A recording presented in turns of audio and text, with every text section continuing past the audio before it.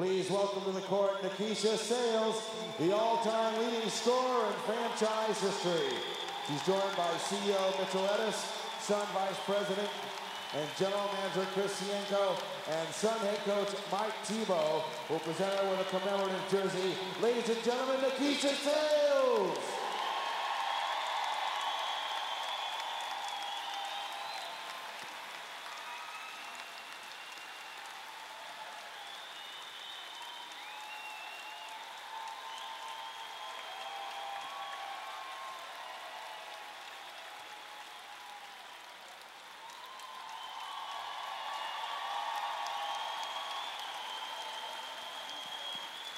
And now let's turn it over to longtime Sun play-by-play announcer Bob Heussler.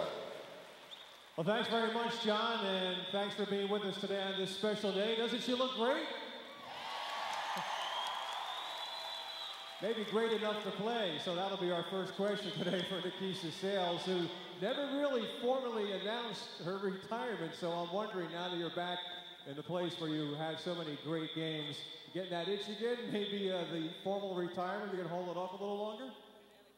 Uh, yeah, you know, well, I just wanted to make sure it was clear that it wasn't a retirement. I actually just um, kind of took some time off. I'm in hiatus, so I definitely want to apologize to the fans. I know I've been gone a long time. Everybody's been wondering what I've been doing, where am I at, am I okay? But I'm doing very well, thanks. Sounds like she left the door open a little bit there. What have you been doing? It's been a while since we've seen you. Yeah, I, I never actually stopped playing. Um, you know, I just kind of been playing abroad and taking the summers to time, kind of uh, try to get my body together, a little bit of healing. You know, playing both seasons has been kind of tough. So um, I'm still playing, trying to keep up. I'm going to put you on the spot. There have been so The many spot, moments okay.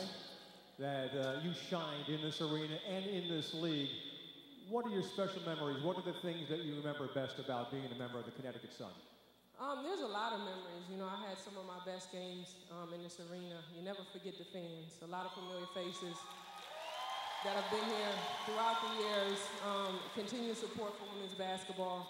Um, obviously, some of the games when you're trying to win a national, I mean, a, uh WNBA championship. Never lose those memories.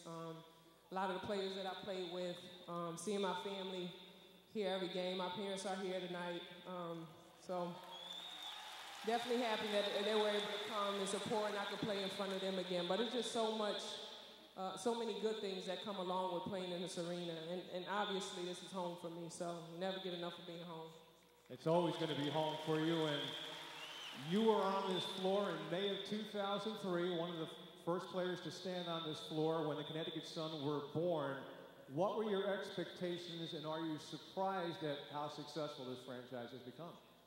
Well, anytime you go into a new program, uh, you never know what to expect. Um, you always expect to be great and try, me personally, try to do whatever I can to make the team great. Um, we had a great core, a lot of great players who worked really hard. Um, coaching staff did a really good job with all of us with making us think outside the box. I think my years here, we were very successful. I had a lot of fun.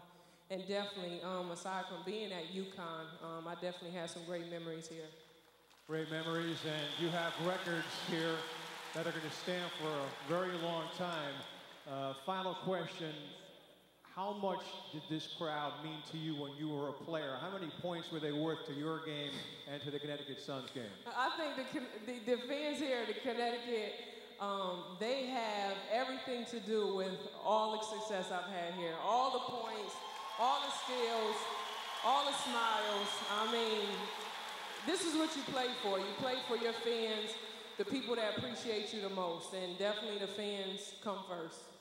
Keisha, it is great seeing you. You look great. We hope to see you again. That you're not a stranger. Come back real soon. Thank, I, I got something to say though. It's a little bit off the subject, but um, recently, um, a few months ago, uh, Tina Charles was able to break the scoring record. She's not out here now, I don't think, but I wanted to uh, personally congratulate her for that. I, I sent her a text, but it's not the same. But I really uh, am happy for her.